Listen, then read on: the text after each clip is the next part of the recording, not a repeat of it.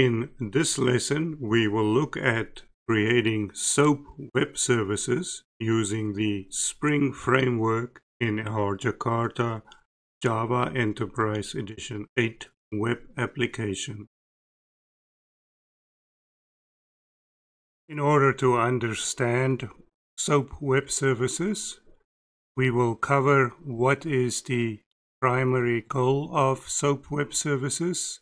Then we will look at the W3C definition of SOAP web services. And finally, we will look at the key characteristics of SOAP web services. We will do a SOAP web services overview where we will look at these three sections. First, the SOAP client service architecture, where clients make state transitions and servers process requests and return resources. We will look at the contract first design using a WSDL document and we will review the challenges, which includes complexity, cumbersome and error-prone processes, and the fact that it's not suitable for agile development environments. Next, we will look at how to use Spring Web Services for SOAP.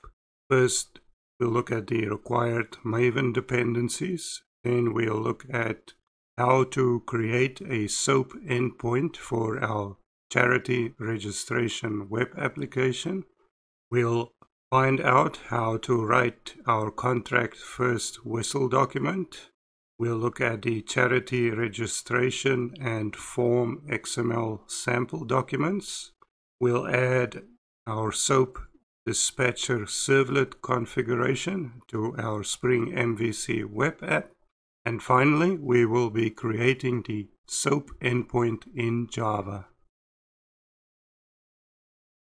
Then, after we've created the SOAP endpoint, we will test our SOAP web service endpoints. We'll look at how to test it. We'll look at choosing testing tool, and we will use our chosen testing tool. Now we are going to go over to our course documentation we look at our documentation branch and go to our GitHub page. From here, we go to Spring Framework Enterprise Development and we go down to creating SOAP web services with the Spring Framework. And we will look at understanding SOAP web services. Web services provide a means for third-party clients to interact with our Spring Web MVC service layer to execute business logic and perform data retrieval or persistence. In the following lesson, we will explore SOAP web services. Our focus will be on providing and implementing web services rather than client implementation. The primary goal of web services is to enable seamless interaction and integration of diverse systems over the internet. This capability makes it easier to build distributed applications leveraging the strengths of different systems and platforms to work together efficiently. These lessons will guide you through the essentials of web services, helping you understand how to implement them effectively in your projects.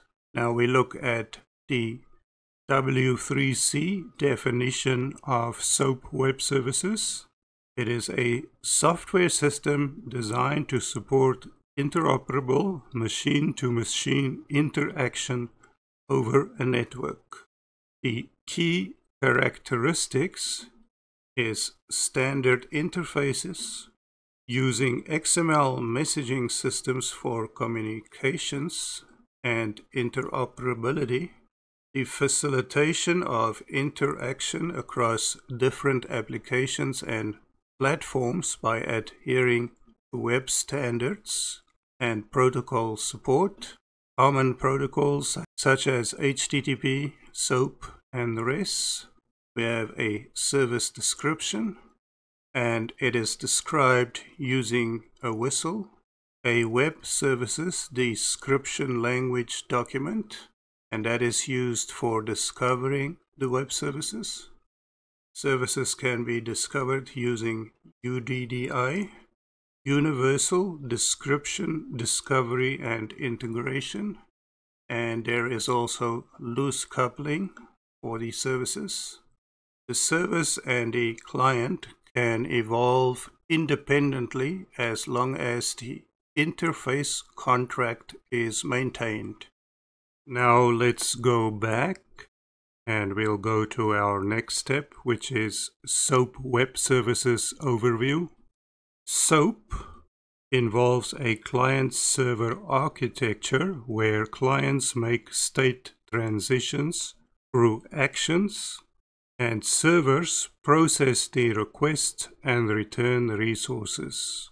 The data exchange can be in various formats such as JSON, XML, or plain text all of which are transmitted over the TCP IP stack. It is a contract first design where we use the WSDL, which is a verbose XML document defining the location of the web servers, the structure of the XML document sent to and received from the SOAP endpoint, it is written in XML schema definition. And before you do anything, you have to create this contract and then you can go and code your web services. There are challenges involved in terms of complexity. The SOAP protocol has a root SOAP envelope XML with complicated nested XML elements. Designing this is a cumbersome and error-prone process. It is also less suitable for agile development and business analysts preferring the iterative discovery of business rules. Yeah, business analysts like to play around with their spreadsheets and, uh, you know, they change a few entries in the spreadsheets here and then you spend a day and a half updating the SOAP document. The more modern replacement, or rather the preferable one of doing things today, is called REST Web Services. So the key differences is we have the predefined WSDL to define the structure of the format of the messages. It is dependent on the protocol of this message format and it's definitely less flexible than the rest. SOAP actions are defined within the WSDL, whereas REST uses the HTTP standard verbs such as get, put, etc. Now, of course, there is advantages in terms of standards and security. It provides robust standards and security features, making it suitable for enterprise level applications and then the formal contract is a documentation of a legally binding contract in uh, the sort of environments where that is useful uh, such as healthcare with heavy regulation or of course banking and finance and in summary SOAP web services are defined by extensive and detailed contracts promoting strict structure but facing challenges in agility and simplicity. Now back to Eclipse and we'll take stock of where we are and where we are going. So we will run our Charity Spring MVC web application.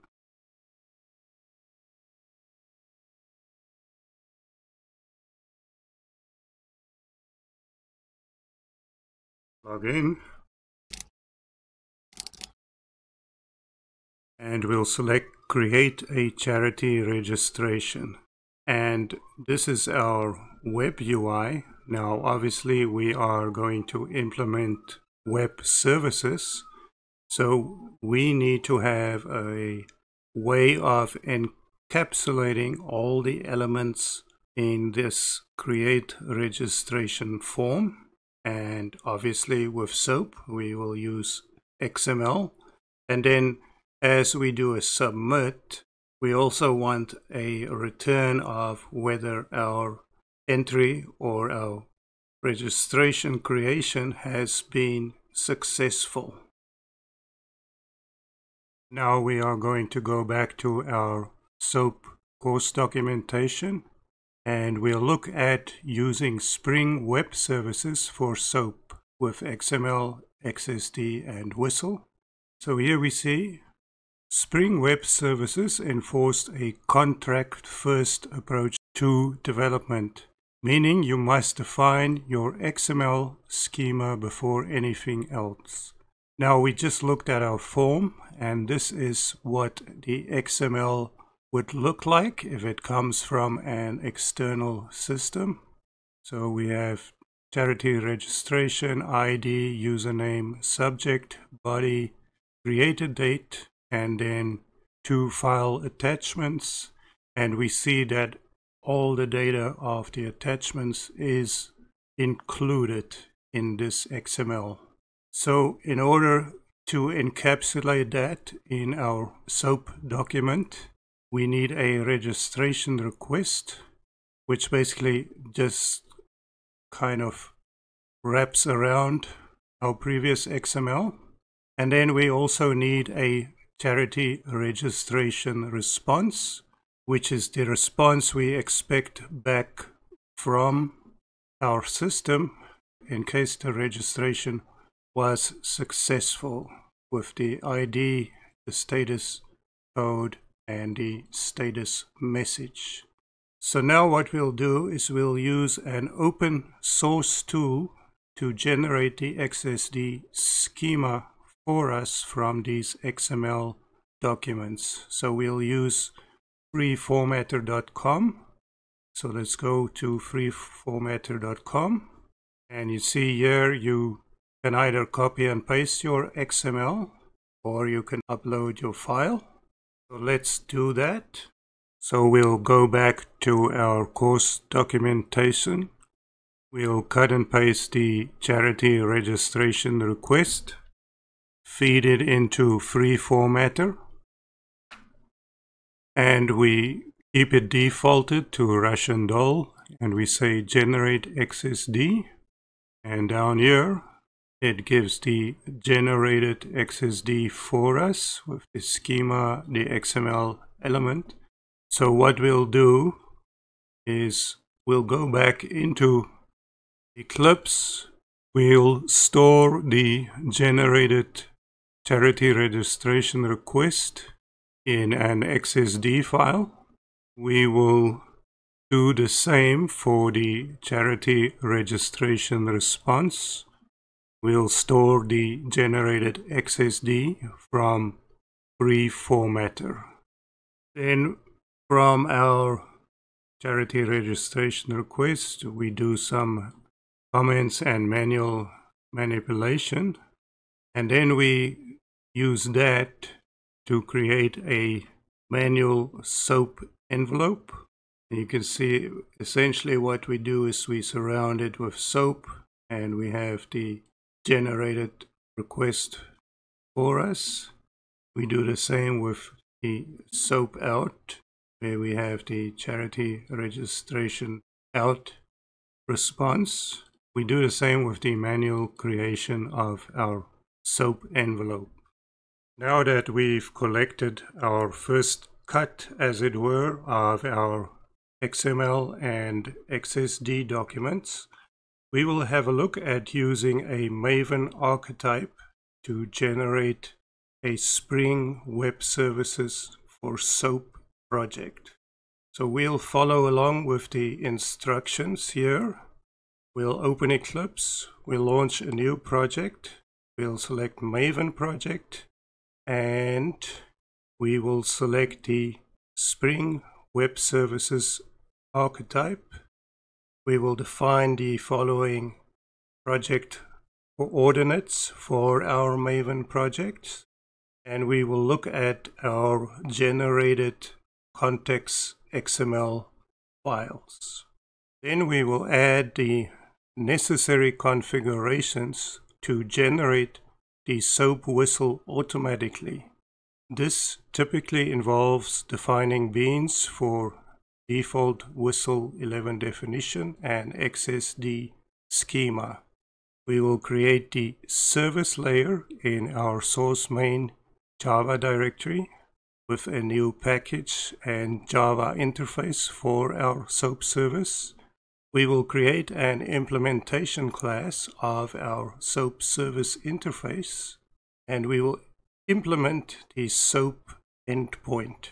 By defining an endpoint class, we create a new class and annotate it with endpoint and then we will map our requests to our methods using payload route, request payload, and response payload notations to map incoming SOAP requests to appropriate methods.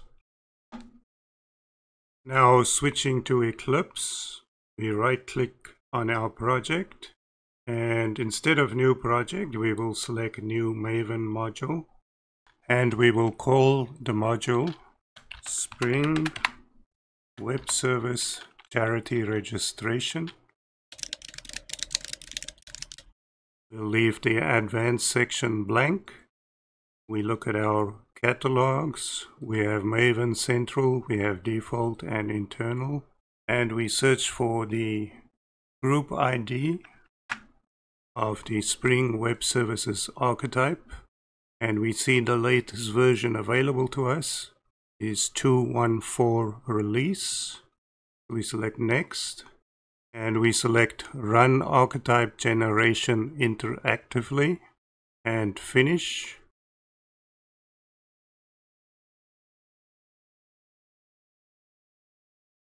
The interactive means we say yes here and it looks like it's finished building and it's in the process of generating the project from the archetype for us here is the created project. So we look at the POM file. We see the dependency. We see it's uh, quite outdated, so we're going to have to do a lot of updating with uh, Java 1.5 and Tomcat 1.1. You see our version is 100 snapshot. And if we look at source main resources, we don't see anything. So what we see in our config is inside the web XML, a message dispatcher servlet. And we also see a annotation driven Spring Web Service servlet design. So this is obviously sort of just a template, a starting point that we're gonna need to manipulate to get to a working example.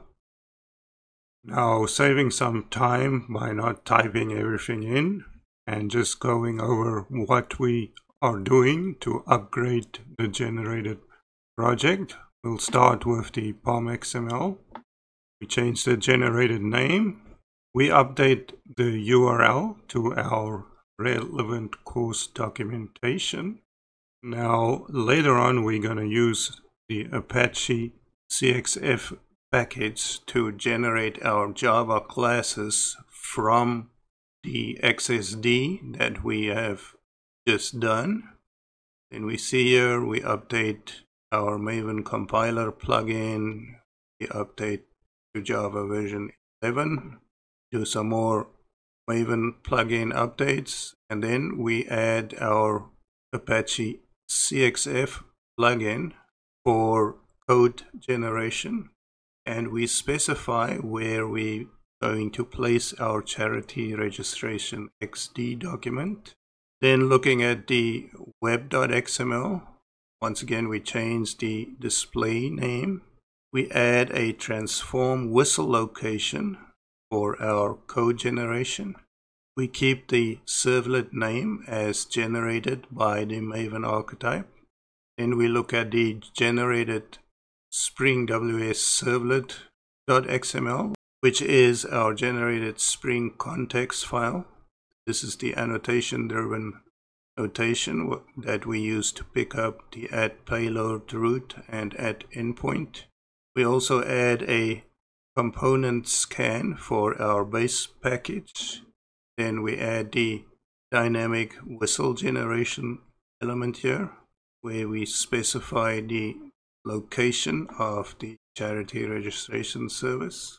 Now let's look at the code generation of the XSD. So if we go into source main resources, what we plug in in this location is our soap in and soap out wrapped around our soap schema.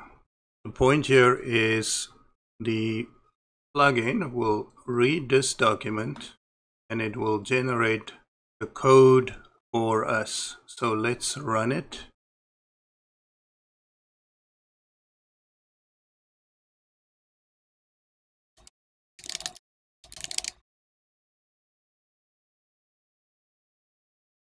our build was successful. So when we look in our target, we see generated plugin markers and generated sources. So if we look at the generated directory, we see the charity registration request, which maps to the definitions in the XSD file. And we see the charity registration response, which maps to the response definition in our XSD file. To recap, first we used free formatter to take the XML document and turn it into an XSD document. Then we manipulated it so we can see the request in and request out. And then using that XSD document, we generated our code and everything is sort of just in a template state. We do need to do a lot more work. Now let's revisit our pom.xml and we see we match the Spring WS core version to a version that works with Java 11. We add the following dependencies for our endpoint WSDL document generation, WSDL4J, XML SOAP, and XML messaging. Then if we go to our Spring Servlet, we see we upgraded to version 4 here. We still have the annotation driven component scan. And this is the endpoint where we want to host our dynamically generated WSDL. And this is how we are going to access it. And we look at our web XML this is where we also upgrade to version 4 of the web definition. And we see we added the transform WSDL locations. We load the servlet on startup. We keep the servlet name and mapping.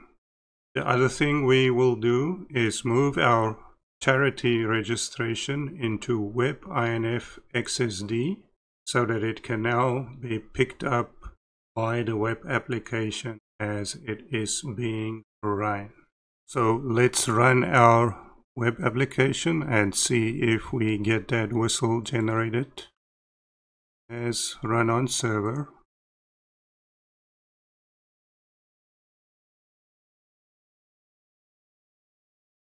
Now, it did launch the application, but it gave us a 405 error. This is kind of what we're expecting because we haven't done any actual coding yet. But let's look at whether we can see that generated WSDL. And now we have the WSDL generated at the endpoint, which will help any clients and help us with our further coding and implementation.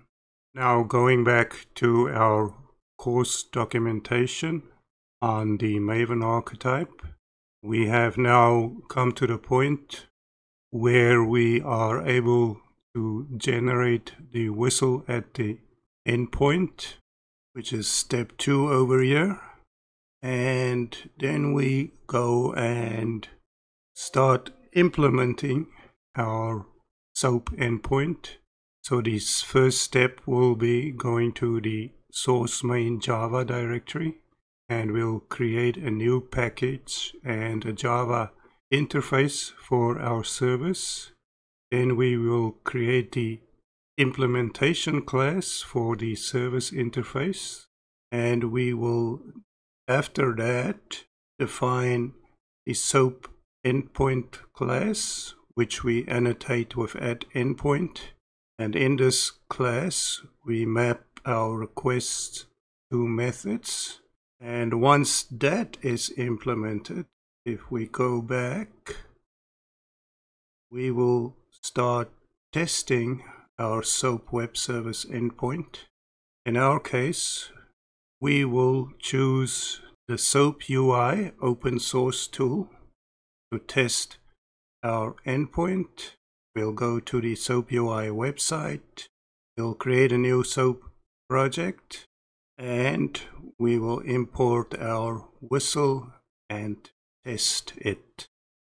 And now back to Eclipse and we have previously enabled the WSDL generation. So now we are going to create a new package and Java interface for our service in the source main Java directory. So here is our new package. Here is our charity registration service and it is important that the name match up with the WSDL generated WSDL port type. Then we look at our service implementation class and we see what we are doing here is we create a charity response. We set the values to registration successful. We set a hard-coded ID, a status code, and an OK. We also have some console logging here. We go back to our documentation. Then we define the SOAP endpoint class where we use the annotations of endpoint, payload route, request payload, and response payload. So here is our endpoint. So we specify the endpoint, specify the name space, and then we specify the use of our charity registration service and using Spring AutoWire to inject it in. Then we have a payload route of our namespace and the local port and we also return a response payload and essentially we have the request payload going in and we call the registration service charity registration with the request coming in. And if we open our implementation, this is what we just looked at. Now back to our documentation and we look at testing our Spring SOAP endpoints. We are going to use an open source tool called SOAP UI we will go to the SOAP UI website and download it. We will download the Windows version, save it. We will run the downloaded executable. Select what we want to look at, use, accept the agreement, next, next, finish. And here is our SOAP UI. And we have a test SOAP envelope that we are going to use send to our charity registration service endpoint. Now where do we get that WSDL that we use in SOAP? we use our generated WSDL, specifically the soap import, and we see we're going to need to clean up some of this, and we have it running now. So if we go back to our SOAP UI, we submit the request. We see we get a 200 response and if we look at the XML, we see the response with the registration ID, status code, status message, XML namespace, and registration successful. And if we go back to our endpoint and our implementation, here is all the values that our SOAP endpoint returned. So now we finally have a successful SOAP implementation end-to-end -end from the Maven archetype. What we just learned with using the Maven archetype, we will apply that knowledge to our Spring Web MVC. So obviously we've gone through the XML, the Maven archetype and the Maven dependencies. So what's going to be different here is the Spring configuration. And first we'll see there is an update to the Bootstrap class. If we go to our source main Java config, and we look at our bootstrap class, we see the root context, the web application context with the Spring Dispatcher, and a single load on startup. And then we look at the servlet context, so going back to our bootstrap. And here we see the charity registration bean for Spring Web Services has been added it defines the port, location, and the target namespace. And there is another one that turns the XSD schema. And if we go back to the documentation, we see we also create a SOAP servlet context configuration. So let's look at it in the code here. It's the SOAP message factory setting the SOAP version and returning the factory. It uses the SOAP servlet context, which we also kind of used in the Maven archetype example. So let's look at that one. That one is going to be in our resources. So here is the XML definition, dynamic WSDL, port type, location, and XSD location.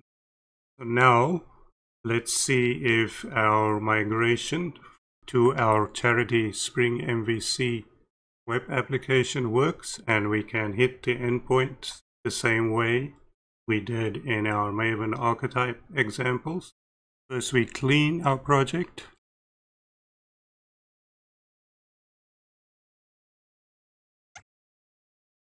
We clean out our web server and then we run the full maven clean install on the whole project.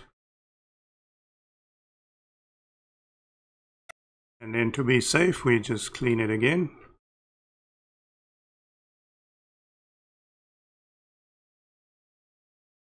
Now that we've built it and cleaned it let's run it